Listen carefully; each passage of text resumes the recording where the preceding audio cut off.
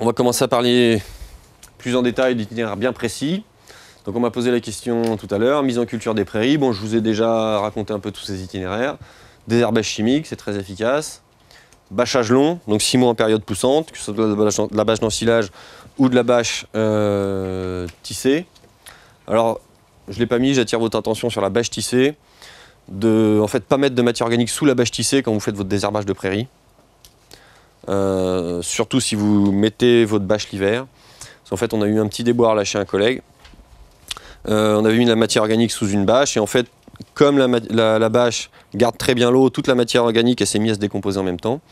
Et que la bâche elle a appuyé dessus, ça fait une couche de matière organique en décomposition qui a composté euh, de manière très homogène. Il y avait plein plein de champignons dedans et ça fait une espèce de couche étanche de champignons.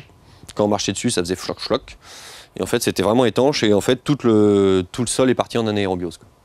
Alors, il s'est pas compacté, il n'a pas perdu sa structure, ça n'a pas tué les vers de terre, mais il était tout bleu et il puait la base. Et en fait, quand on a débâché au printemps, ça a resséché et ça a poussé. Bon, ça s'est reoxydé, ça s'est bien passé. Euh, mais on est un peu stressé quand même. Et probablement que c'est pas très bon pour le sol non plus.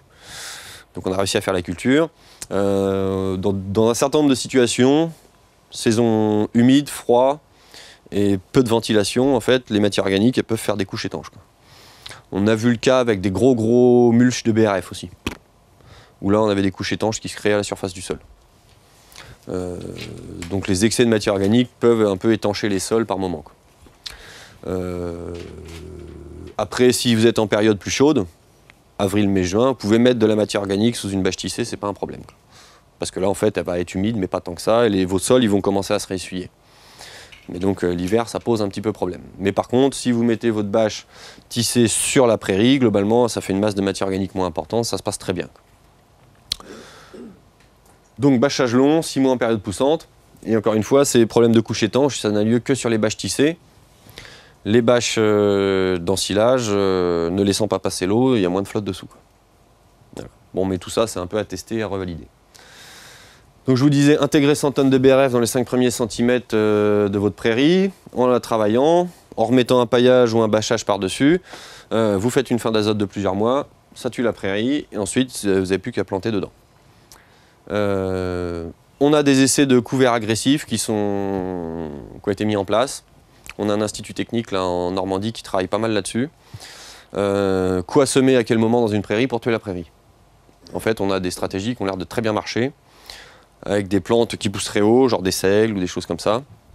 Et donc là, on aura beaucoup plus de résultats d'ici un an ou deux, parce qu'on est en train de rentrer en contact avec des gens qui ont quelques années d'expérience là-dessus, et on devrait vous amener des idées très intéressantes pour euh, réussir à détruire une prairie avec des couverts. Donc ça peut être quand même assez rigolo, parce que ça pourrait coûter moins cher qu'une bâche, euh, beaucoup moins de manutention, il suffirait de semer peut-être même à la volée votre couvert dedans. Par contre, il faudra attendre au moins une pousse de couvert, si ça se passe très bien, pour détruire votre prairie. Euh, ces travaux-là, en fait, sont faits pour commencer à réfléchir à partir d'une prairie, comment je peux semer de la céréale sans avoir à détruire du tout la prairie? En fait, il y a des stratégies qui peuvent se faire, mais pour l'instant, bon, on n'en parle pas trop. Mais si ça vous intéresse de développer ça, parce que vous avez des ressources de graines, tout ça, que vous y connaissez un peu, que vous voulez mener des essais, on travaille là-dessus. Euh, donc un truc, un itinéraire un petit peu plus complexe, mais qui pourrait être intéressant pour comprimer un peu euh, la mise en culture, euh, c'est de faire un bâchage qui va juste défolier la culture. C'est-à-dire là, une bâche, vous prenez, bah, je sais pas, une bâche tissée sans trou, quoi vous mettez votre bâche, et vous n'avez pas envie de percer votre bâche parce que vous voulez utiliser cette bâche tous les ans pour euh, défolier votre prairie, vous retirez cette bâche, et là vous reprenez une bâche plus fin, etc. Vous la mettez, vous faites vos trous et vous repiquez dedans. C'est-à-dire que votre prairie, quand déjà elle a été défoliée une bonne fois pendant 2-3 mois, elle repart, mais vraiment doucement. Parce que le problème de l'itinéraire courge, que je vous montrais tout à l'heure, c'est que vous percez votre bâche à chaque fois. Donc l'année d'après, si vous voulez qu'elle défolie correctement, il faut venir boucher chaque trou avec une grosse tuile pour empêcher que la prairie pousse dans le trou. D'accord? Ou alors il faut déplacer la bâche. Ça c'est bien compliqué, mais ça peut se faire. Vous mettez la bâche, il y a un peu de prairie qui pousse, vous la redéplacez, et puis vous replantez votre courge dedans. Il y a des combines à mettre au point. Donc voilà, ça c'est chez notre collègue Vincent dans l'Orne. Euh, on met de la bâche, point. Donc c'est les essais qu'on a fait chez lui qui nous ont dit qu'il fallait 6 mois en période pourcente pour tuer un chien dent. Et ça marche. Le seul truc qu'on n'est pas encore sûr, c'est le liseron. Est-ce que ça le tue, ça le tue pas?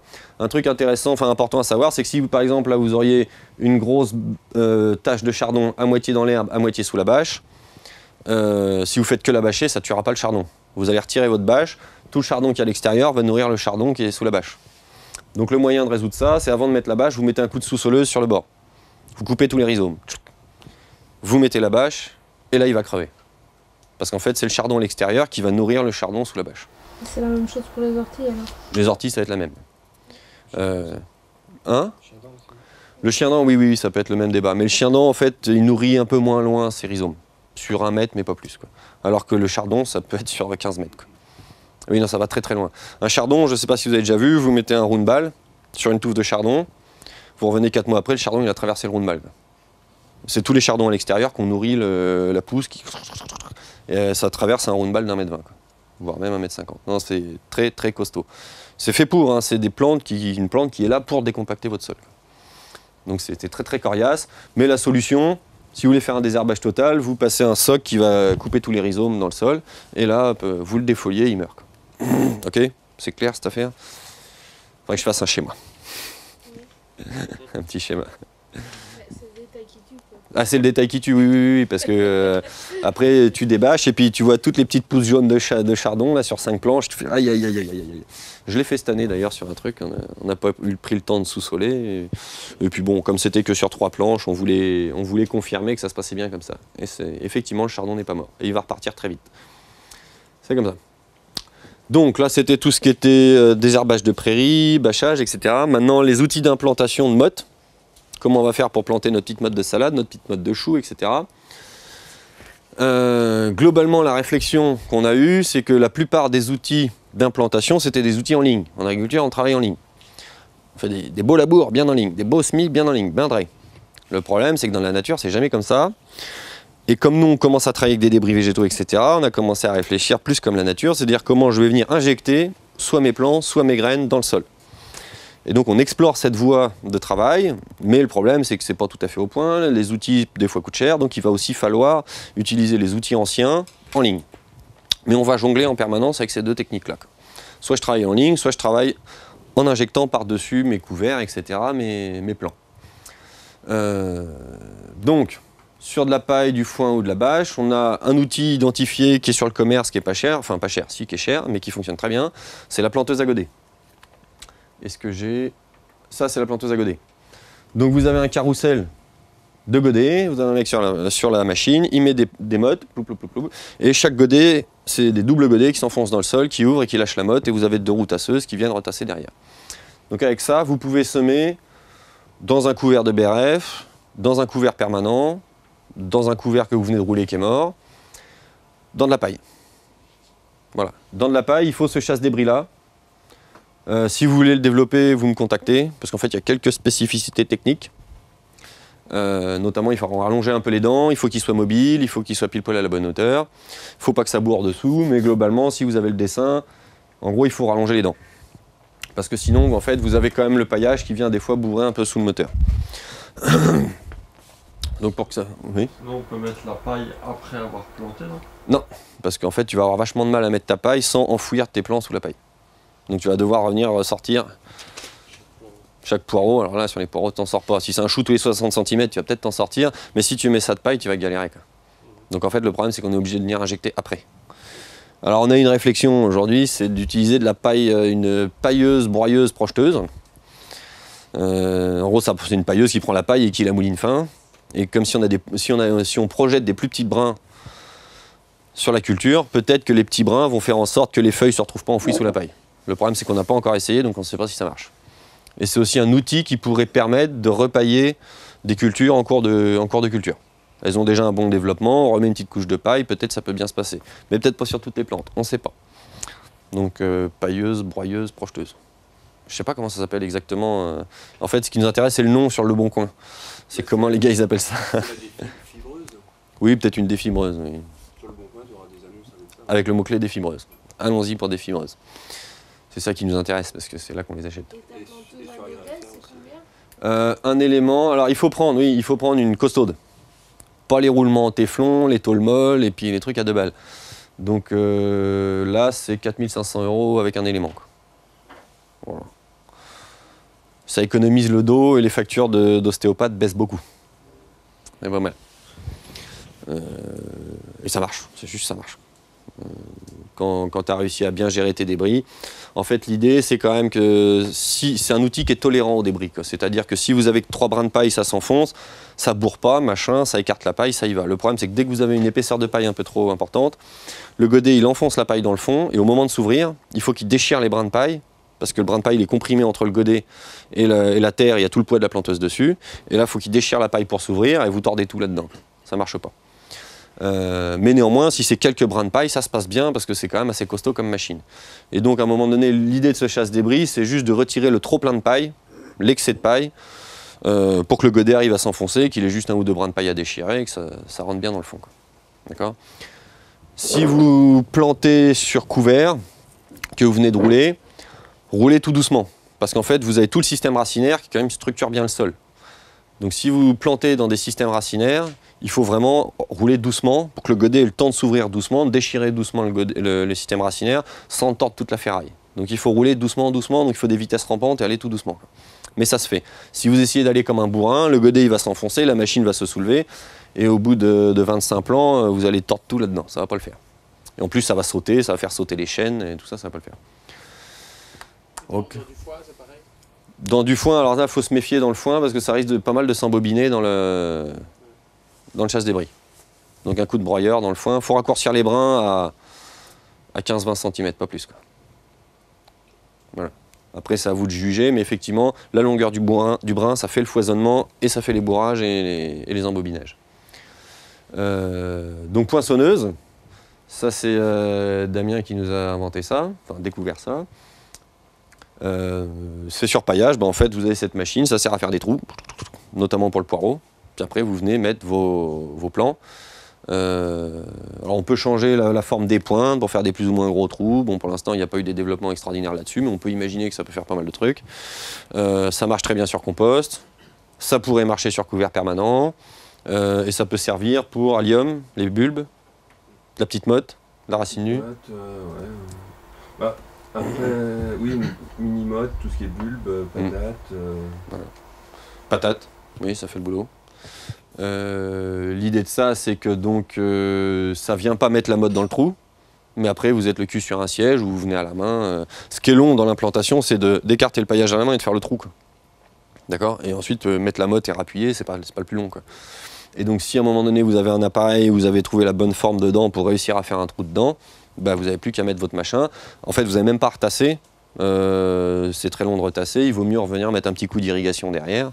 Euh, si vous avez un peu enfoncé un peu en force votre plan dans le trou, un petit coup d'irrigation derrière, on n'en parle plus. Ça se passe très bien. Les poireaux notamment, toi tu t'emmerdes pas, tu mets le poireau, un coup de flotte et. Voilà. Il en faut quand même suffisamment. Oui, il en faut, il faut y aller. Mais si vous avez de l'aspersion, c'est plus facile de- d'asperger que de venir euh, rappuyer chaque poireau. quoi. Voilà, donc, euh, donc ça, c'est pas forcément très facile à trouver d'occasion. Et avec ton godet, il faut aussi rappuyer derrière. Non, il y a deux roues qui le font. Il y a des roues tasseuses. Alors la, la planteuse à godet, le truc, si vous voulez, c'est que normalement c'est fait pour du sol bien mouliné. Et euh, quand la planteuse travaille dans des sols moulinés, vous avez bien les, cinq faces de votre mode carré qui sont en contact avec le sol. Euh, avec des sols vivants, en fait, généralement, vous avez que la face du fond et une, ou deux faces des côtés qui sont euh, en contact avec le sol. Et vous avez souvent deux faces qui sont pas en contact avec le sol. Mais en fait, trois faces, ça suffit. Parce que comme vous avez la, paille qui, est très peu bouleversée et qui est dessus, ça sèche pas. Donc les repiquages d'été, vous êtes obligé d'arroser. Mais nous, tout ce qui est repiquage de printemps, on a toujours une petite drache, les sols sont humides, ça se passe très bien. Si votre sol est humide, en fait, très rapidement, les poireaux, dans, dans le, le type de sol qu'on a, en fait, le développement racinaire des plants est extrêmement rapide. quoi. Euh, ça fait dès, dès les premiers jours, euh, enfin dès le premier jour, vous avez 2 cm de racines qui se refont. quoi. Et comment tu sais si tu peux planter? Si tu le peux sol, planter. Le sol doit être essuyé, tu vois, c'est ça. Ah bah ça, après, ça c'est toi qui sais, c'est toi le maraîcher. Ouais, mais Eh oui. tu pailles Ouais.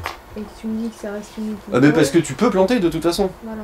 Les sols vivants, si tu veux, sont jamais engorgés de flotte, ils sont humides, mais c'est tout.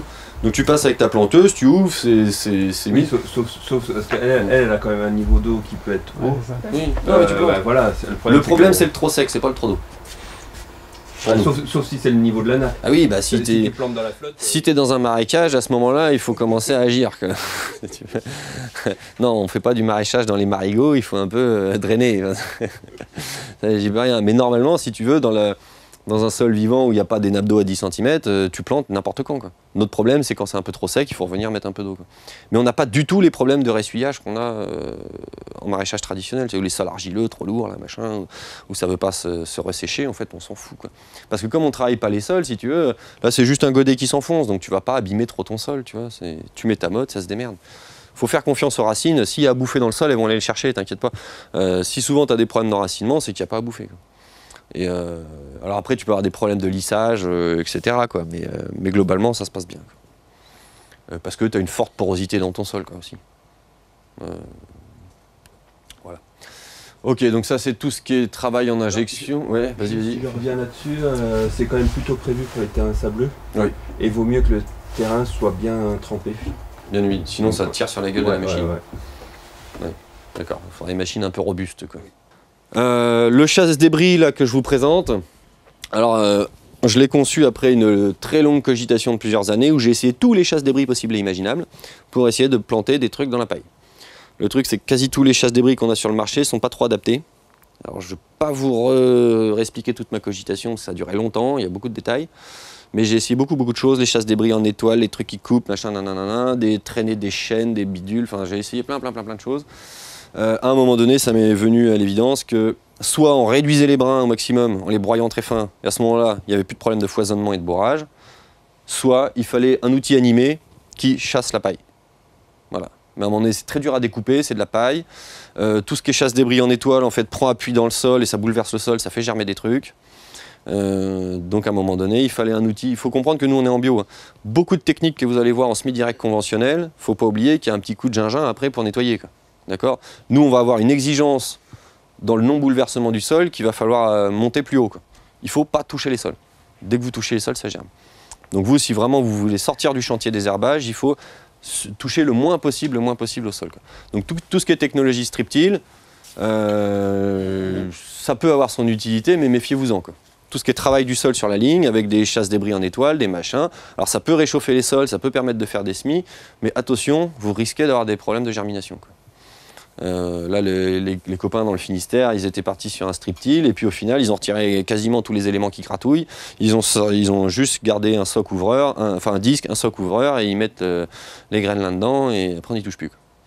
Euh, je dis pas que. Voilà, il faut se méfier de tous les outils qui vont gratouiller en surface, ça peut vous faire germer des choses. Tout ça est à retester. Et donc, typiquement, le striptile, c'était un truc développé par les conventionnels, où par-dessus, ils revenaient désherber sur la ligne de travail du sol. Et donc, nous, on peut pas trop. Enfin, si vous êtes labellisé bio, vous pouvez pas jouer à ça. Et en plus, bon, bah, on voit que techniquement, on peut trouver des moyens de très peu toucher le sol et de ne pas avoir besoin de faire de désherbage d'appoint. Euh, et donc, ce chasse-débris-là euh, pourrait probablement être adapté, je ne l'ai pas encore fait, personne ne l'a encore fait, sur des planteuses traditionnelles qui ouvrent des sillons dans le sol pour mettre de la racine nue ou des choses comme ça.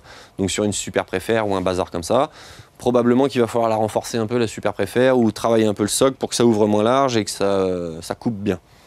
Parce que dans les, sols euh, vivants sont plus fermes. C'est pas de la semoule, donc ça rentre pas comme ça dedans.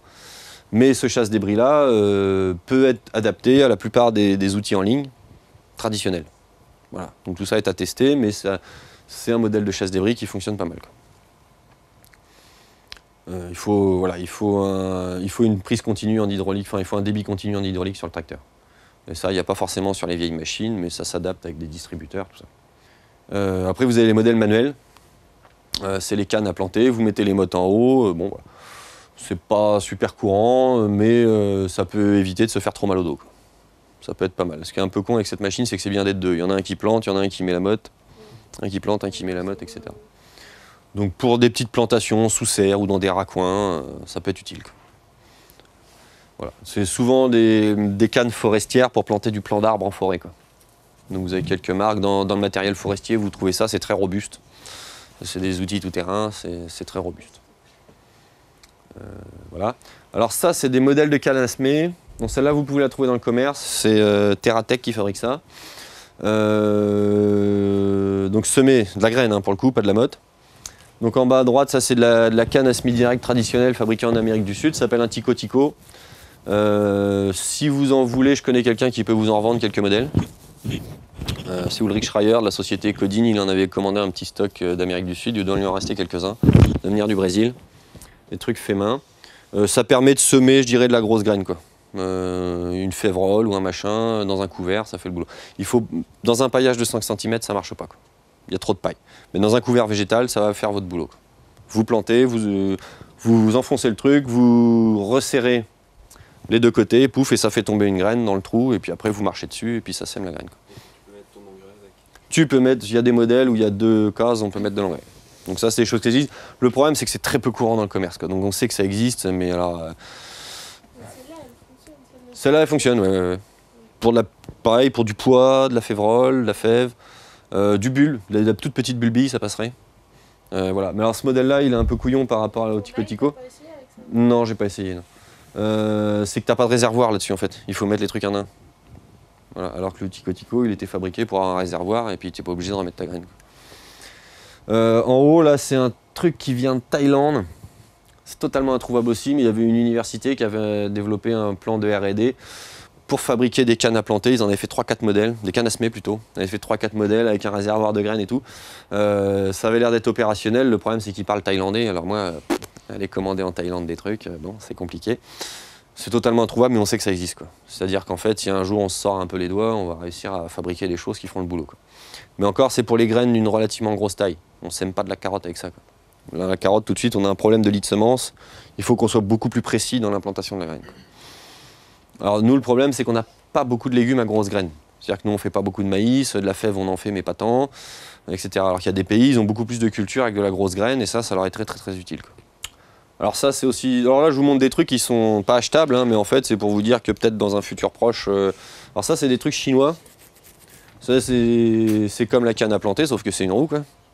Les, les grosses roues multicolores, c'est des trucs chinois. On a voulu en commander, mais le problème, c'est qu'il faut en commander au moins une dizaine ou une vingtaine pour que ça soit rentable de commander le truc. Parce que sinon, la roue, elle vous finit par vous coûter 2500 euros, ça fait un peu cher. Euh, mais il y en a plein en Chine. J'ai vu des photos, il y en avait des hangars avec 10 000 dedans. Donc il y en a plein en Chine, si on veut, on peut en acheter. Et parce que les Chinois, quand ils lancent l'industrie, euh, là-bas, ils ont des très très gros programmes de semi-direct. euh, c'est des budgets de recherche spatiale, hein, si vous voulez, ça se compte en dizaines de milliards de dollars. quoi. Reforestation, développement de semoirs à semi-direct, tout ça, ils y vont fort. Et donc là, c'est. C'est aussi pour les grosses graines. ou- C'est aussi plutôt pour les grosses graines. ouais. Ça va s'arrêter à 1 mm et demi de diamètre. quoi. Oui, c'est ça, oui, tu as les graines dans le réservoir et blablabla, ça se défile, tu vois. Et puis tu peux régler, euh, suivant ta roue, les, les distances de semis et tout ça. Euh, et ça, c'était les, ancêtres de ces modèles-là. Euh, tout ça, c'est des trucs qui ont plus ou moins été développés en partenariat avec la FAO, qui avait aussi des, pro- des programmes de semi-direct. Ils ont un, sur leur site internet, la FAO, ils ont une espèce d'annuaire de toutes les technologies à semi-direct. Ça va de la roue comme ça au semoir de 45 mètres de large, si vous voulez. Euh, vous avez vraiment tout. Du, giganti- du gigantisme absurde, la petite roulette, et, la petite canne à semer. Il n'y a pas encore le bâton fouisseur, mais presque. ils ont fait un catalogue avec tout ce qu'on pouvait trouver. Le truc, c'est que c'est très difficile à obtenir parce que c'est à l'autre bout du monde, ils ne parlent pas la même langue, euh, et puis il faut le faire venir. Alors, vous pouvez y aller en voyage le démonter, le mettre dans. Là, on irait en Chine, on pourrait acheter ça, on rentrer ça dans la valise et puis le ramener. Quoi. Il faut aller en Chine. Euh, mais ça, si demain on est 20 à vouloir en acheter une pour essayer, euh, ça coûte 200-300 balles, on peut commander. Le truc, c'est qu'il faut acheter un mètre carré dans un bateau et puis ça coûte cher. Donc il faut au moins avoir pas mal de matériel dessus. Voilà. C'est avec Ulrich qu'on avait voulu acheter ça et puis bah, comme personne, on avait lancé un appel mais pas grand monde avait répondu donc on a laissé tomber. Euh, bon, mais c'est des choses qui sont envisageables. Donc outils d'implantation, grosso modo aujourd'hui ce qu'on a, c'est planteuse à godet, poinçonneuse. Ah, il y a les chaussures plantoirs, est-ce qu'on en a la photo? Non, pas par là, bon tant pis. Euh, c'est un collègue qui a fabriqué des chaussures avec deux, plantoirs dessous, puis comme ça il, fait les pré-trous, et puis il met les patates dans les trous. Euh, la serre, je vous conseille de démarrer sous serre, c'est là que c'est le plus simple. Pourquoi? Vous n'avez pas de pluviométrie, donc vous n'avez pas de perte de porosité. C'est là que vous aurez le moins le problème de compaction des sols. D'accord? Donc ça se passe toujours beaucoup mieux sous serre. Vous avez moins de problèmes de limaces, etc., etc. Globalement, ça se passe bien sous serre. Et en plus, vous avez un chiffre d'affaires en mètre carré qui est plus important sous serre, donc vous pouvez plus facilement rentabiliser vos intrants massifs pour redémarrer vos sols. Avec l'aspersion en haut. Non, goutte à goutte. Aspersion, tu mouilles ton paillage et après tu as un magnifique radiateur à humidité dont tu n'arrives pas à te débarrasser. Euh, goutte- L'aspersion peut peut-être servir pour la gestion des acariens l'été, pour humidifier un peu toute l'affaire. J'ai jamais essayé, je sais pas. Mais Mm. ça assez d'eau le goutte à goutte pour la vie du sol euh, partout. Alors ça a tendance, il faut les serrer. Il faut serrer tes gouttes à gouttes. Euh, et globalement, on a des cônes de dispersion qui sont plus faibles parce qu'on est en sol vivant. En gros, l'eau la flotte, elle trouve les galeries de vers de terre. Quoi. Mais encore une fois, donc on a des zones un peu sèches entre les gouttes à gouttes. Mais en fait, on n'a pas de problème de développement racinaire parce que les racines, bah, en fait, elles s'enfoncent, elles ont un volume de sol beaucoup plus important à explorer parce que galeries de vers de terre, porosité, etc. etc. Donc globalement, on voit que les sols, ils sèchent par endroits, mais on n'a pas de problème de production et ça pousse. Quoi. Voilà. Et en fait, les vers de terre, ils vont se concentrer là où il y a de l'eau et puis ça se passe. la paille va rester plus longtemps alors. Oui, ça pourrit moins vite. ouais. Par contre, l'hiver, souvent, ta serre, elle est humide. Et comme il fait plus chaud, elle se met à pourrir très vite l'hiver. Donc, grosso modo, ça pourrit un peu moins vite, mais l'hiver, ça se met à pourrir plus vite. Parce qu'il fait plus chaud. Alors que dehors, elle va pourrir lentement parce qu'il fait froid. Euh, donc, irrigation goutte à goutte serrée. On peut peut-être même descendre à 20 cm sur 20 cm, mais après, c'est un peu chiant parce qu'on se retrouve avec une armada de goutte à goutte. Donc là, en fait, l'irrigation, c'est un petit peu compliqué à gérer. On n'a pas trouvé le bon mode pratique, efficace, euh, pour que nos sols restent bien humides comme on voudrait. Euh, on ne sait pas trop. Mais globalement, au goutte à goutte, ça marche. Et l'aspersion, si vous faites de l'aspersion, euh, bah, il faut en mettre beaucoup d'eau d'un coup pour que ça traverse le paillage. Mais si vous faites des aspersions régulières, en fait, tout ce que vous faites, c'est mouiller votre paille et après, vous avez de l'humidité puis que ça va en faire. Donc, c'est un peu compliqué. Euh, donc, l'implantation, bah, ça se fait avec des itinéraires tout à fait classiques, repiquage de motte, euh, semis, machin, machin. On peut récupérer l'eau, nanan, porosité stable parce qu'il n'y a pas d'eau. Donc je vous disais, attention aux primeurs. Euh, on, a des, serres plus froides, donc notamment les gelées tardives sous serre, elles arrivent plus tard. Nous au début on était surpris parce qu'on avait des gelées tardives en mai sous la serre, on ne comprenait pas, alors que les collègues ne l'avaient pas. C'est le sol de votre serre qui fait l'inertie thermique et qu'empêche les gelées sous serre. Sauf que vous avez mis un paillage, donc vous empêchez le sol de se réchauffer et vous l'empêchez de relarguer de la chaleur la nuit. Donc en fait, c'est le sol qui fait l'inertie thermique de votre serre. Comme vous avez empêché ce, ce phénomène-là, vous risquez d'avoir des gelées tardives plus importantes. Peut-être qu'ici, je ne sais pas si vous en avez de la gelée tardive en mai. Euh, oui, Oui. Voilà. Et donc, vous, normalement, vous devriez être beaucoup plus sensible avec des, des serres à sol paillé. Euh, en tout cas, nous, on en a dans notre coin et c'est pour ça qu'on a investi dans une double paroi gonflable avec des ouvrants automatiques, plus de l'inertie avec des bidons de flotte dedans. Donc, on ne sait pas qu'est-ce qui joue vraiment, mais en gros, on a fait tout ça et on a réussi à pu avoir de gelée tardive à partir là de mars. Euh, ça se passe beaucoup mieux. Mais on se méfie quand même parce que on a quand même un gros facteur d'inertie qui est le sol qui ne fonctionne plus. Euh, donc un, itinéraire assez simple de patates en... Alors ça c'est de la patate primeur, mais le truc c'est que c'est fait en Bretagne. Attention, ça tout le monde ne peut pas faire ça, là-bas ils gèlent pas, il y a un climat très doux l'hiver.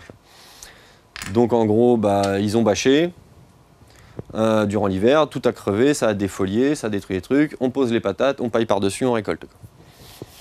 Donc ça, ça marche là-bas, mais attention, euh, si vous êtes dans des zones plus froides, ça aura vachement de mal à sortir, et euh, vos primeurs risquent d'être un peu longues à sortir. Donc vous pouvez peut-être faire cet itinéraire avec 5 cm de compost par-dessus. Ou de la paille et de la bâche. Ah, c'est ça le, le plantoir, la chaussure plantoir. Bon, c'est...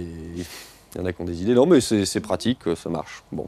Faut- Surtout que du coup, il pose ses patates dans les trous, même pas il rebouche ni rien. Non, il fait rien. Il- Ça va super vite. hein. Il fait ses trous, il met les patates dans les trous, puis ça se démerde. quoi. On n'en fera pas 5, on en fera pas 5 hectares comme ça, quoi, mais euh, sur le principe de la poinçonneuse, euh, c'est simple. hein. Donc, si on était un peu des merdards en mécanique, on pourrait fabriquer une poinçonneuse qui met la patate dans le trou, puis on n'en parle plus. Quoi. À mon avis, on devrait réussir à faire des choses comme ça, en synchronisant un peu les bazars. Bon, mais là, il faudrait un, un bon mécano, puis un peu de temps et un peu de pognon pour faire ça, mais bon. Sinon, après, il y a la patate à la volée, hein, ça marche très bien aussi. Oui, oui, oui, ça marche aussi. Après, tu as plus de problèmes de verdissement. C'est des compromis. Euh, alors là, on a mis ce petit commentaire qui n'a pas grand-chose à faire là, mais c'est pas grave.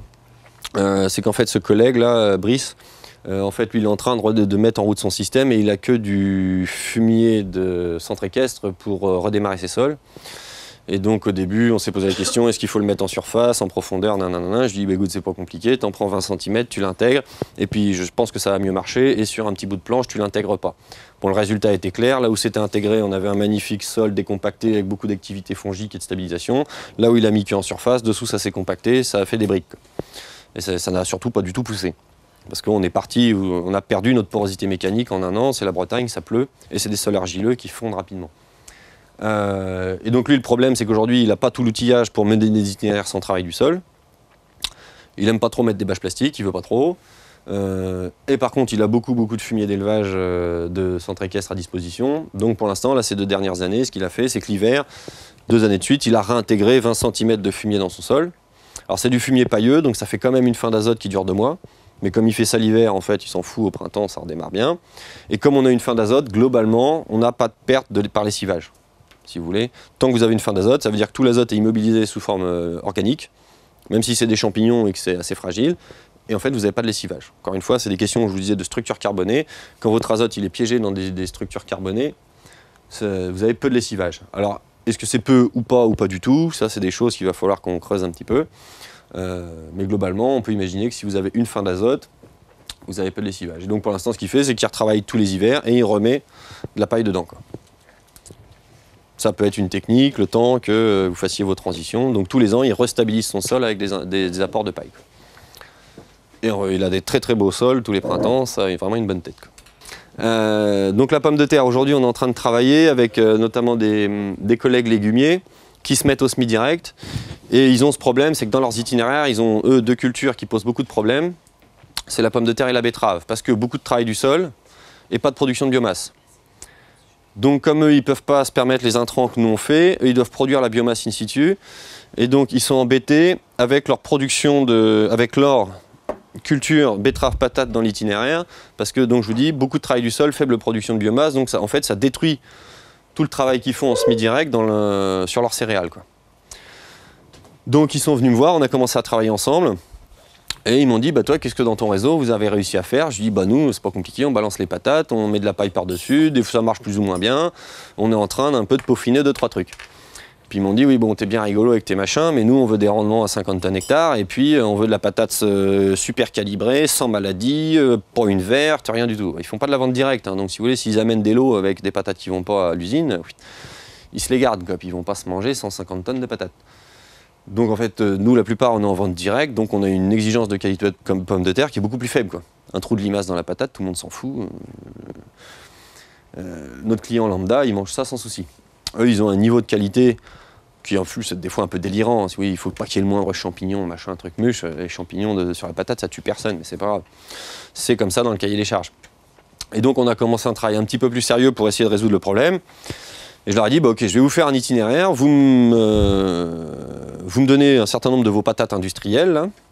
je vais faire mon itinéraire classique, et on va juste regarder ce qu'il y a à. Et on va commencer à raisonner, à pousser un peu plus le raisonnement. Donc en fait, ce qu'on a fait là, il y a 15 variétés sur cet essai, dont un certain nombre de pommes de terre industrielles qui servent à faire je sais pas trop quoi d'ailleurs, mais ça n'a pas l'air très mangeable. En tout cas, pas dans les critères de, de gustatifs de nos clients. Nos clients ne sont pas exigeants sur l'aspect, mais sur le gustatif, ça c'est clair, le retour il est direct. Oui, ou de la patate à colle à papier peint, ou je sais pas ce que ça fait. Mais c'est pas très bon. Non, il faut voir la gueule des trucs. Et donc, on a planté toutes les patates et on a observé.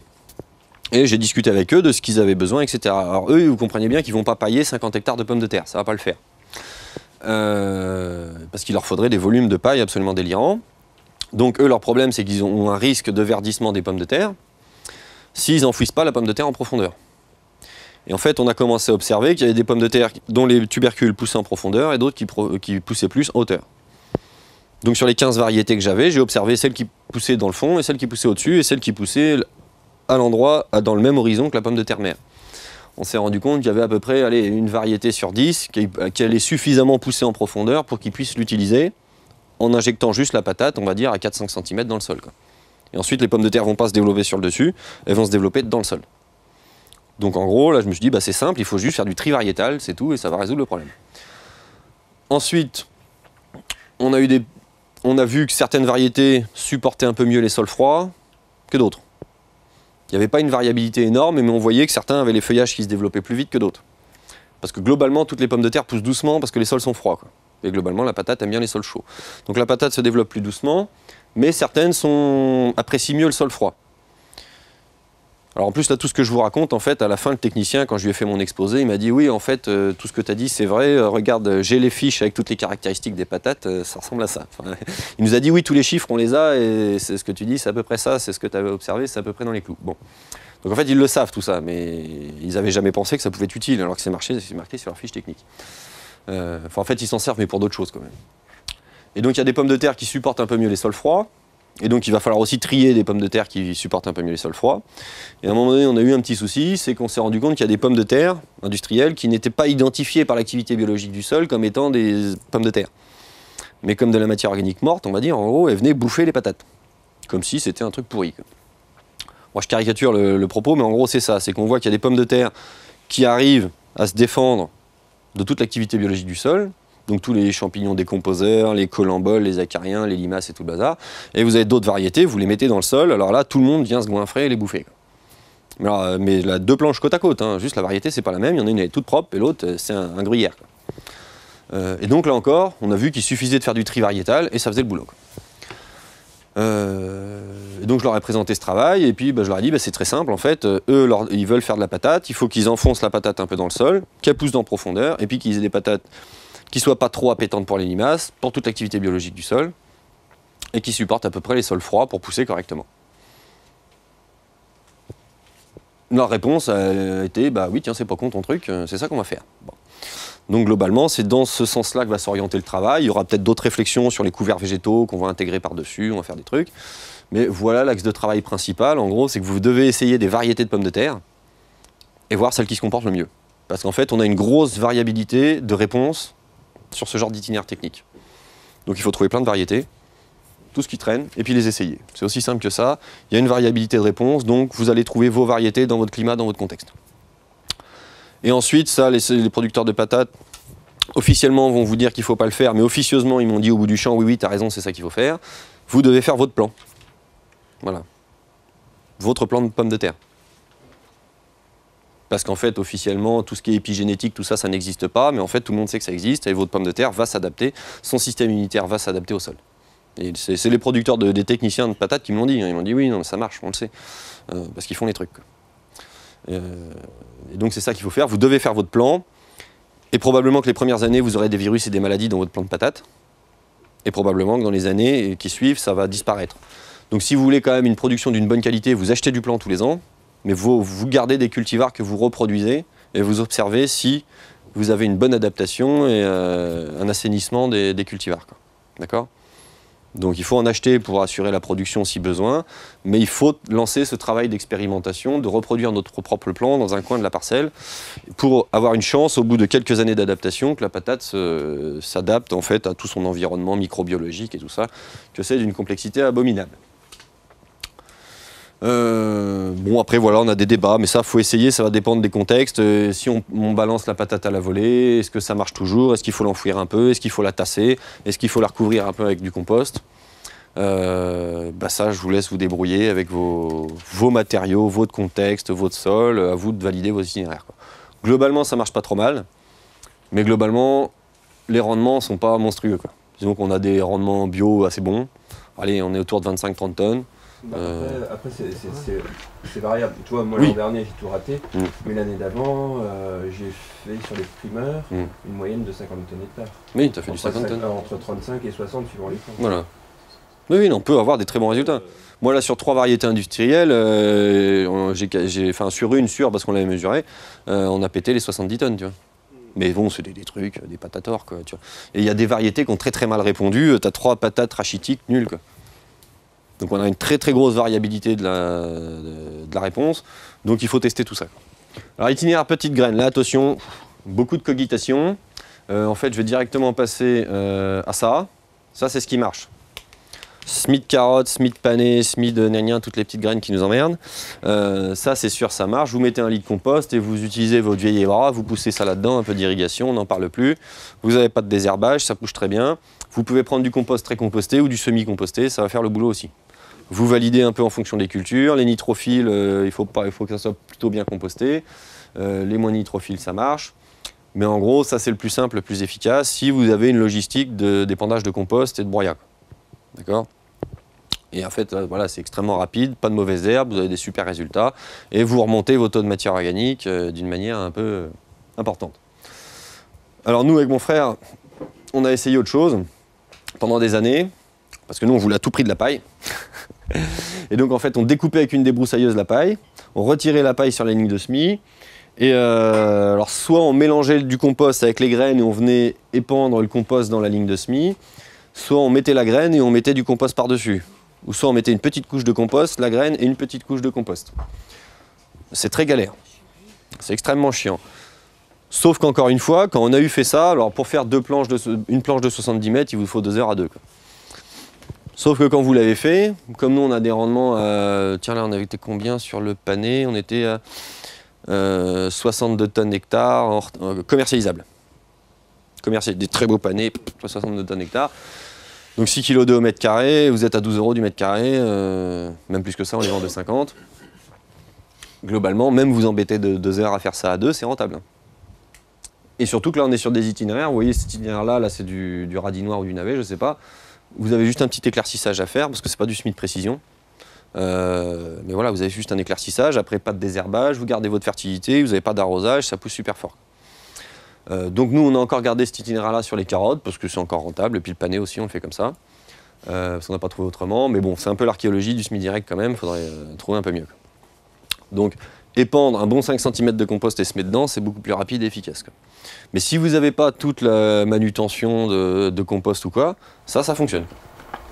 Et tu mets, une fois que ça a germé et que t'as éclairci, tu mets rien par-dessus? Non, non, qu'est-ce que tu Tu tu laisses- Oui, non, parce qu'en fait, si tu veux, tu ouvres ta paille, donc tu retires ton mulch et là, tu as des risques de germination de graines. Mais en fait, tu remets une petite couche de compost qui refait un mulch. Quoi. Et ça réisole, ça refait un stabilisant. Et sur l'itinéraire où tu mets les 5 cm de compost, tu remets rien. Non, non, juste tu sèmes dans ton compost. Parce que les 5 cm de compost, pareil, ça fait un isolant, ça fait un mulch, c'est de la matière carbonée, donc tu n'as pas de nitrophile qui germe, etc., etc.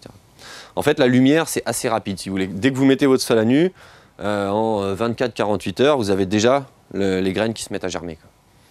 Et euh, c'est très rapide. quoi. Euh, parce que, euh, alors, ça c'est des débats à rallonge, Pff, les paramètres de levée de dormance des graines, c'est abominablement compliqué. D'ailleurs, il y a très peu de littérature dessus, en fait. On trouve des, des concepts dans certains bouquins, des gens qui ont essayé de creuser, mais c'est vraiment très compliqué. Donc la règle, c'est beaucoup de matière carbonée, on isole et ça marche très bien. La couche de compost que tu mets, elle fait combien? Ouais, 3 cm, 4 cm. Tu peux en mettre 5 si tu veux. quoi.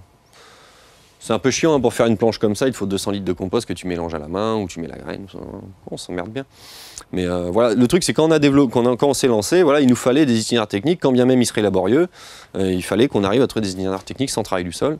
Et donc on a développé ce truc-là. J'ai essayé de le mécaniser et bon, j'ai un, un proto de chasse débris là qui me semble assez prometteur, mais ça fait deux ans qu'il est prometteur, donc chaque fois que je le modifie, il y a toujours un truc qui déconne. Là, je pense que j'y suis bientôt arrivé, mais comme je suis en train de vous faire des formations, j'ai pas le temps d'y retravailler. Donc ça, c'est tout ce qui est technologie de semi-direct euh, grande culture qui peut servir pour semer dans du couvert végétal, qui a été roulé au stade floraison, qui a été roundopé ou qui a été euh, euh, défolié avec une bâche. C'est-à-dire que vous avez un couvert végétal, vous le roulez, vous mettez une bâche dessus, il défolie, il meurt si c'est de l'annuel ou de la bisannuelle. Et là-dedans, après, vous pouvez utiliser tout ce panel de technologies que vous trouvez en semi-direct les disques ouvreurs, nanana. Donc une fois, je vous le dis, le, problème des disques ouvreurs, c'est que c'est pas capable de couper un paillage de paille dure, de paille de blé de 5 cm. Ça marche pas, c'est trop dur. Par contre, si c'est du verre, si c'est du couvert vert qui, a- juste été roulé où tous les brins sont dans le bon sens, parce que vo- votre planche, vous roulez tous les brins dans le même sens, vous pouvez passer un disque entre tout ça. Euh, voire même en fait un soc très fin, ça peut passer. D'accord? Parce que toutes les fibres sont dans le même sens et donc ça va se faufiler entre tout ça. Euh, Il y en a une technologie assez compliquée. Il y a un truc qui a été assez prometteur quelques années, c'est le sy- système développé par le Sémagreffe. Alors vous voyez, c'est un disque qui est légèrement incliné, avec un cône qui permet de régler la profondeur. Alors c'était intéressant parce qu'il n'y avait pas besoin de mettre de poids dessus, du fait que le cône était incliné, il cherchait toujours à s'enfoncer dans le sol. Et donc on avait un cône qui empêchait que ça s'enfonce trop. Euh, c'était assez prometteur parce que c'était économique, euh, énergétiquement très économe, en puissance, c'était assez économique. Euh, le problème, c'est qu'en fait, vous ouvriez votre sillon sur le côté, on mettait la graine dans le sillon, mais en fait, il n'arrivait pas à ressortir tout droit. Et oui, parce qu'en fait, la graine, quand on fait un sillon, on la met dedans, elle, elle sort tout droit. Et comme là, on faisait un sillon sur le côté, on, injectait la graine sur le côté, elle n'arrivait pas à sortir. Donc ce truc-là, si vous en entendez parler, ça marche pas super tip-top. Et en fait, il y a une boîte dans le sud qui s'appelle Oranzan. Parce que je fais de la veille technologique sur tout ça, je suis abonné à tous les machins, je regarde tout ce qui se fait. Euh, Oranzan qui a modifié le système, alors il l'a incliné, mais pas trop, et donc ça marche à peu près. Et donc aujourd'hui, on a des semoirs à semi-direct euh, français, monsieur, qui marchent relativement bien et qui sont très économiques en énergie. Donc tout ça, ça peut passer sur de la prairie, sur du couvert permanent, sur du couvert végétal euh, roulé, mais ça ne marchera pas dans des gros paillages. Donc une piste de réflexion très importante, très intéressante, c'est le semis à la volée. Puisqu'en fait, à un moment donné, on a commencé à avoir marre de se prendre la tête avec tous ces outils ouvreurs, chasse débris, machin, nanan. Et on a commencé à se dire, bon allez, avant de s'embêter avec ça et de vouloir à tout prix tout sécuriser, on va faire plein d'essais de semis à la volée. Et puis déjà, toutes les cultures qui vont marcher à la volée, on va plus s'embêter avec des semoirs et des machins. Et en fait, il y a pas mal de trucs qui marchent. Euh, donc, un itinéraire qui marche bien sur les crucifères et tout ce qui est grosses graines, c'est vous avez votre paillage pas trop épais pour le coup, que vous avez relevé, que votre planche elle est propre dessous et tout ça. Vous avez réduit un peu la longueur des brins. Vous balancez vos graines. Vous passez un coup de broyeur. Et c'est tout. Donc il faut que votre paillage soit pas trop épais, c'est-à-dire qu'on est dans moins de 5 cm, on est en- autour de 3 cm, la moitié. Vous balancez vos graines. Et en fait, alors, ce qui se passe, c'est qu'il faut mettre beaucoup plus de graines. Ça, c'est à vous de valider le, truc. Parce que vous avez une partie des graines qui ne germent pas, parce qu'elles ne se retrouvent pas bien positionnées au bon endroit. Donc vous mettez, allez, x2, x3 de graines. D'accord? Vaut mieux en mettre un peu plus et avoir besoin d'éclaircir après parce qu'il y en a trop, que d'en mettre pas assez et puis de perdre de la place. Après, c'est vous qui gérez votre schmilblick. Euh, mais en gros, vous balancez plein de graines. La graine, c'est pas non plus que ça coûte. Euh, vous passez un coup de broyeur. Euh, et donc, globalement, cette année, on a fait des essais sur crucifères, ça marche bien. On a fait des, essais sur grosses graines, ça marche bien. Donc, bon, encore une fois, revalider dans vos conditions, avec votre température de sol. Ça va pas marcher à toutes les saisons. Donc il faudrait tester tout ça. Là pour l'instant on a fait quelques essais qui ont marché, il y en a quelques-uns qui n'ont pas trop bien marché, mais euh, des fois c'est parce qu'il y avait trop de paille. Donc c'est le problème, dès qu'il y a trop de paille, si vous voulez la petite graine de radis, elle n'arrive pas à traverser 5 cm de paille qui sont collés par les champignons, ça ne marche pas. Donc il en faut pas trop épais. Ou vous pouvez faire aussi cet itinéraire-là. Là on l'avait fait sur de l'oignon cette année, donc on- je vous montrerai l'itinéraire oignon après. À la fin des oignons il nous restait une petite couche de paille de 3 cm. C'était assez propre. On avait une mauvaise herbe tous les mètres carrés, donc on a dû retirer ça. J'ai balancé plein de graines de mâche. J'ai passé un coup de broyeur et j'ai eu trois planches de mâche magnifiques, euh, à rien foutre. Alors que d'habitude, il fallait dépailler, mettre la mâche, remettre du compost, des machins. Donc nickel. Euh, ça marche avec le crucifère, les grosses graines, la mâche, tout ce qui va être graines un petit peu grosses. Alors pas grosses grosses, mais si vous voulez, ça, ça a assez mal marché avec la carotte parce que c'est vraiment faiblard en termes de réserve nu- nutritive. Euh, L'inconvénient de cet itinéraire, c'est que globalement, vous n'avez pas beaucoup épais de paille et donc vous avez quand même pas mal de germination dedans. Donc après, c'est à vous de gérer ça, euh, comment on le désherbe, etc. Alors c'est bien pour les cultures courtes. Voilà. Euh, les cultures courtes, euh, radis, du navet, c'est pas très long, du radis noir. Si vous commencez à essayer de semer des trucs un peu plus longs, un pané, c'est une graine assez grosse, ça pourrait le faire, mais c'est un cycle de développement très long. Donc là, vous, allez avoir une concurrence mauvaise herbe avec votre plante qui est un peu trop compliquée. Il va falloir venir tout désherber. Euh, donc c'est bien pour les cultures courtes. Voilà. Parce qu'en fait, vous avez votre plante qui pousse, les mauvaises herbes qui poussent, mais une fois que vous avez récolté votre truc, vous mettez un coup de bâche et puis c'est bon. Voilà. Le problème de cet itinéraire aussi, c'est que si par exemple vous avez une levée de rumex, là vous arrêtez tout de suite. Parce que le rumex, même si votre euh, navet il met que deux mois à pousser, le rumex il est déjà gros comme mon petit doigt, et puis là vous êtes foutu. Après c'est trois mois de bâchage, quatre mois de bâchage pour le détruire. Donc euh, le rumex c'est pas bon, faut faire attention. Quand ça, s'est mis dans l'itinéraire, euh, c'est de la saloperie. Après vous avez toute la technologie des enrobages de graines. Vous prenez les graines, vous les enrobez dans de la terre et de l'argile. Euh, donc ça c'est Fukuoka, machin. Il y a un mec en France, euh, il a une boîte, je sais plus comment ça s'appelle. On n'a pas encore travaillé avec lui, mais qui est spécialisé dans l'enrobage des graines. L'idée c'est de coller le lit de semence autour de la graine. Et comme ça, quand vous le semez à la volée, en fait, à la première pluie ou à la première irrigation, l'enrobage se charge en eau. Et même si après il fait sec pendant deux jours, la graine a le temps de germer et de s'enraciner. Euh, ça, ça va plus être utile si vous voulez quand on va faire du couvert végétal, qu'on va détruire euh, au stade de floraison avancé. On va balancer la graine, on va rouler ça dessus et ça va germer à travers le couvert. Voilà, tout ça, il y a plein de trucs à caler, c'est des pistes de réflexion, il y a quelques essais qui ont fonctionné, tout ça, mais il faut retravailler tout ça et c'est pas mal de boulot. L'enrobage des graines, c'est un peu chiant, c'est de la technique. Faire ça avec des bétonnières, des machins, on ne peut pas tout travailler. Mais je sais qu'en en grande culture, en tout cas, ils travaillent pas mal là-dessus parce que euh, bah, voient le potentiel de pouvoir se mettre à la volée. Il y a déjà des gens qui le font si ça vous intéresse. Vous regardez une conférence de quelqu'un qui s'appelle Lucien Segui, S-E-G-U-Y. C'est un chercheur du CIRAD qui bosse au Brésil, qui est un des plus grands spécialistes au monde du semi-direct. Et euh, lui, vous sème les cultures sur 40 mètres de large avec un épandeur à engrais. Donc il en fait 300 hectares par jour. Euh, en fait, c'est des trucs complètement délirants ce qu'il fait, mais il y a un gros, gros, gros potentiel économique sur les semis à la volée. Et donc il fait ça. Euh, et alors le problème, c'est qu'il ne nous donne pas tous ces petits secrets de travail pour sécuriser le SMI. C'est un peu dommage. Mais bon. Euh, on voit qu'il y a un gros potentiel parce que vous imaginez votre, paillage là, euh, si vous semez à la volée, euh, c'est hyper rentable. Même si vous êtes obligé de faire deux mois de bâchage après pour désherber, ça, va- gagner énormément de temps. donc voilà, le SMI à la volée, ça, ça a un gros potentiel. Donc on se pose encore beaucoup de questions, tout n'est pas fait, notamment pour la carotte. Et donc bah, il existe tout un tas de trémies de semis. Euh, ça c'est un semoir en bas à gauche, c'est un semoir à engrais tradi. Ça c'est une- un truc qui, qui se trouve chez les céréaliers qui font du semis direct. C'est en fait quand vous moissonnez votre blé, c'est une, coupe de moisse-batte. hein. Et Il y a deux petits semoirs de chaque côté de la coupe. Vous mettez la graine de vos couverts végétaux. Alors c'est de la petite graine. Vous pouvez pas semer de la févrole ou des machins parce que sinon euh, tous les 200 mètres il faudrait recharger en graines. Donc c'est pour semer de la facélie ou de la crucifère ou de la moutarde ou des choses comme ça. Du trèfle. Donc vous fauchez. Toute la paille elle est dans la moisse batte en train d'être moulinée. Vous balancez la graine. Et ensuite la paille avec le, broyeur, vous la, rebalancez par-dessus les graines. Voilà. Et, euh, et ça marche bien. Et donc ça, ça permet pendant la moisson de semer en même temps, en même passage. Et si vous mettez que de la petite graine là-dedans, que vous mettez des réhausses sur votre, sur votre distributeur, en fait, euh, ça le fait très bien. Voilà. Euh, je sais plus qui c'est qui fait ça, ça doit être des distributeurs et bras. Euh, après, vous pouvez le faire avec des delimbes et des machins. Euh, Alors, je sais pas comment ils ont résolu le problème pour semer sous la moisse batte. Euh, je me demande s'il n'y en a pas un dessous, je sais plus ce qu'ils avaient bricolé. Bon, voilà, c'est des pistes de réflexion qui sont développées. Le SMI à la volée, s'il est maîtrisé, c'est quand même là où on a une excellente performance économique dans l'implantation de la culture. Les oignons. Les oignons, c'est intéressant. Alors, c'est du repiquage. Si vous voulez semer vos oignons, vous allez ret- retomber dans les mêmes problèmes que le semis de la graine de carotte. Ça, germe lentement, c'est à moitié con, euh, il suffit que ça ait un petit problème, ça pousse tout doucement.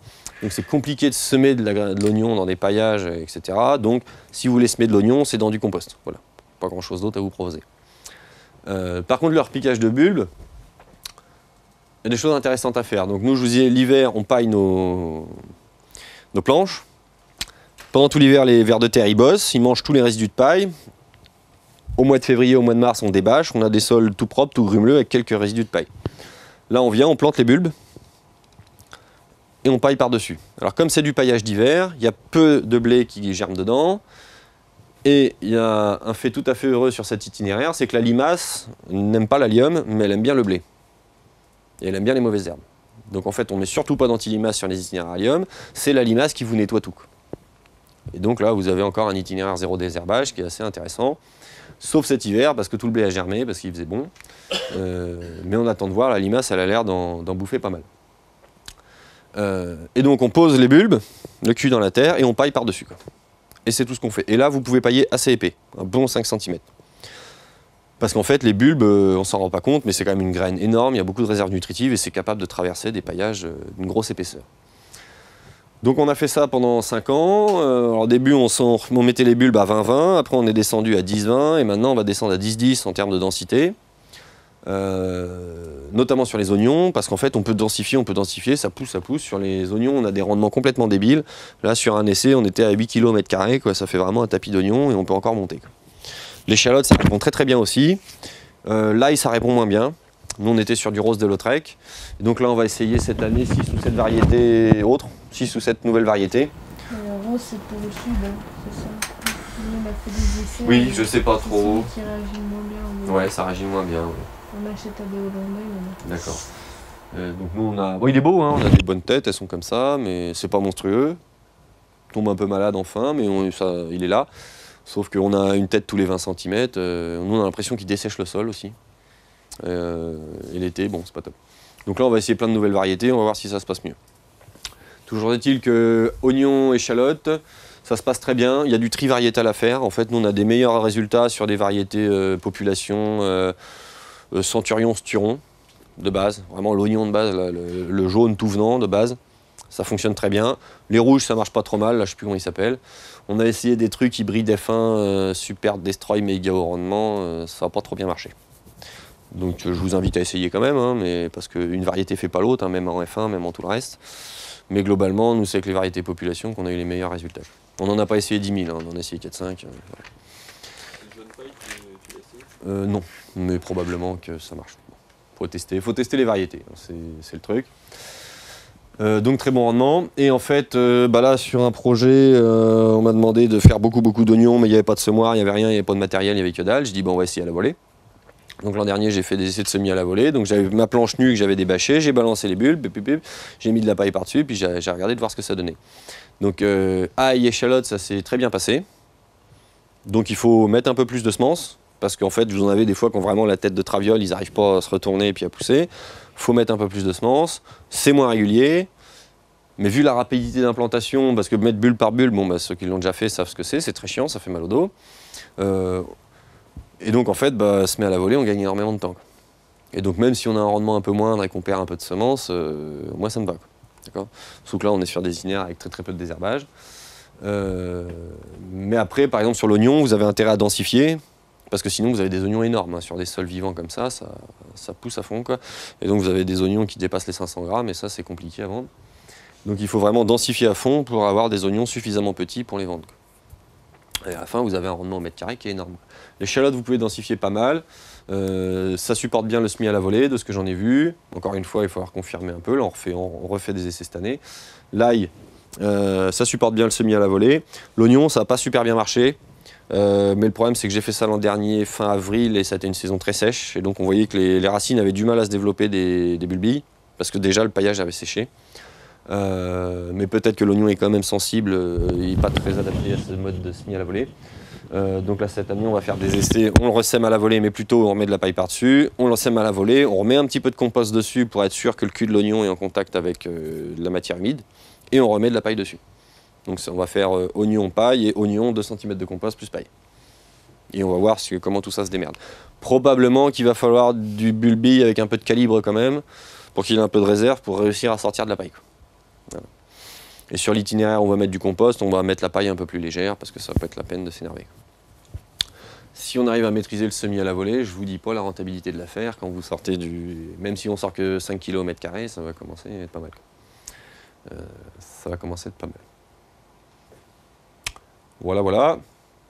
Donc ça donne ça. Ça c'était quand? Ça c'était. Oui, c'était cette année. ça.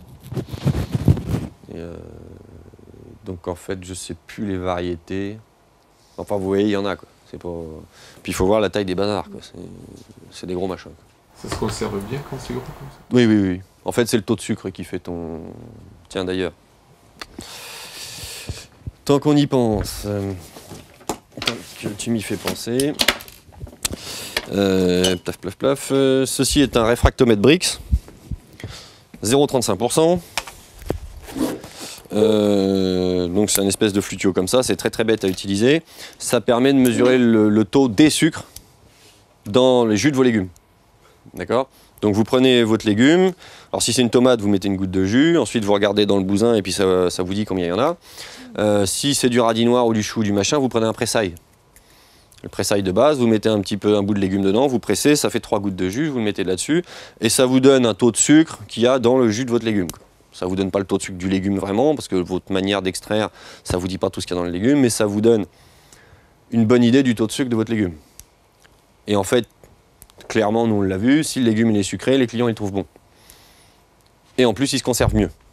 Parce qu'en fait, le sucre stocké par la plante, c'est ce qu'elle va consommer durant tout l'hiver pour se conserver en fait. D'accord? Alors après, vous pouvez peut-être avoir des légumes avec des taux de sucre élevés, mais d'autres déséquilibres qui font que ça ne se conserve pas. Euh, mais nous, globalement, en conservation, on- ça se passe très bien. Et là, on a des oignons avec euh, 10 et 11% de sucre dedans. Donc c'est assez élevé, ça se sent tout de suite au goût.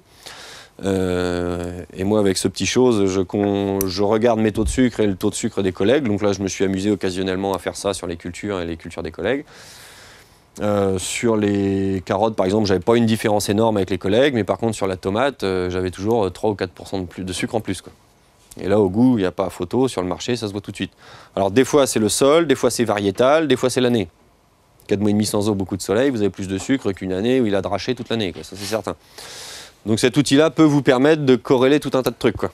Cette année, mes oignons sont mal conservés. Est-ce que j'ai pas manqué de soleil cette année? Est-ce que j'avais pas trop trop d'azote dans mes sols parce que j'avais bourriné avec du compost et j'avais mis énormément de gazon? Voilà. Et donc cet outil-là vous permet de voir beaucoup beaucoup de choses et ça coûte 40 balles. Donc c'est euh, c'est très intéressant. Réfractomètre Brix, BRIX, BRIX.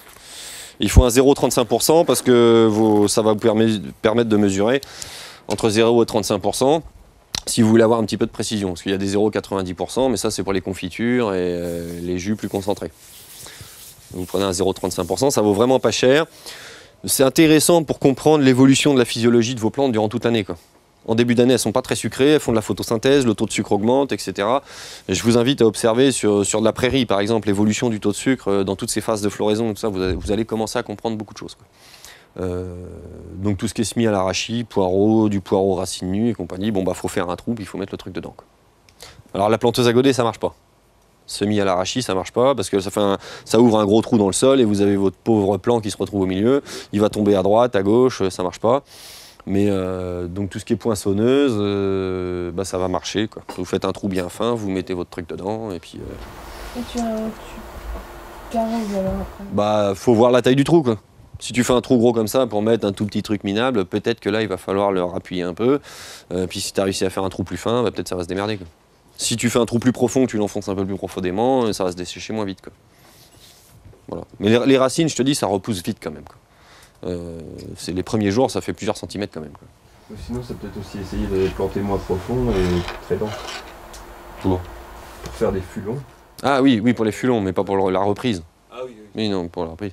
Alors, les fulons, oui, effectivement, semer les poireaux très denses. Là, le truc, c'est que vous avez un dessèchement du sol l'été. Donc, si vous voulez faire de la grosse densité de poireaux, faut arroser. Quoi. faut arroser. Parce que le poireau explore mal la réserve utile du sol. Donc, les vivaces. On a aussi des itinéraires très intéressants sur vivaces. Donc, bâchage permanent, euh, rhubarbe, artichaut, etc. Sur l'artichaut, attention, des fois, il y a du rongeur sous la bâche. Mais alors, rhubarbe, on a des résultats complètement débiles avec ça. Ça pousse. Donc, prenez de la bâche tissée, vous faites des trous, vous mettez vos plants de rhubarbe. Euh, L'hiver, vous retirez la bâche, vous mettez à bouffer, vous remettez la bâche. Et vous faites ça. Et si vous... laisses pas ouvert l'hiver. Parce que c'est à ce moment-là que les rongeurs se mettent en dessous. Pas con, sur l'artichaut, on pourrait. Oui, oui, oui. Oui, comme ça, les chats, ils peuvent venir crougnoter les, les rongeurs. Ah, John, c'est ce qu'elle a fait. mais- Ah, c'est très malin, ça. Ça, ça me plaît bien, ton histoire. Oui, surtout que l'hiver, ça va pas s'enherber, et puis si ça s'enherbe, tu t'en fous, parce que tu vas remettre ta bâche. C'est pas con du tout. Tiens, on va faire ça, parce qu'on s'est fait niquer pas mal des, artichauts, c'est une très bonne idée. Donc rectification de l'itinéraire, on retire la bâche l'hiver pour que les chats viennent bouffer les mulots. Et quand ça commence à pousser, à s'enherber au printemps, vous remettez votre bâche. Alors il faut le faire avant que la rhubarbe commence à sortir. Le seul petit problème, quand vous remettez la bâche, vous la remettez jamais vraiment au niveau du, pied de la rhubarbe. Et donc, il bah, faut revenir remettre un petit peu la bâche à chaque pied. Parce que sinon, les feuilles poussent sous la bâche et puis ça ne passe pas très bien. Donc, faut, mais bon, c'est pas non plus très long, il faut refaire un petit passage. alors, sur la rhubarbe, si vous voulez vous lancer dans le jus de rhubarbe, le machin de rhubarbe, la confiture de rhubarbe, hein? Le vin de rhubarbe, euh, en maraîchage sol vivant, vous allez gagner de l'argent. Ça pousse comme un débile, la rhubarbe. Ça pousse incroyablement. Euh, plus vous y en mettez au cul, plus ça pousse, hein, c'est pas compliqué. L'artichaut, c'est un peu pareil. Et si en plus euh, on a une technique pour se débarrasser des rongères l'hiver, c'est nickel. Voilà, ça peut se faire sur paillage aussi, sans trop de problème. C'est pas des sols, pas des plantes qui ont besoin de sol très chaud. Ils ont juste besoin de sol très fertile. Donc euh, moi, ce que je trouve intéressant avec le bâchage permanent, c'est qu'on n'a aucun problème de mauvaise herbe. Bon, c'est pas mal.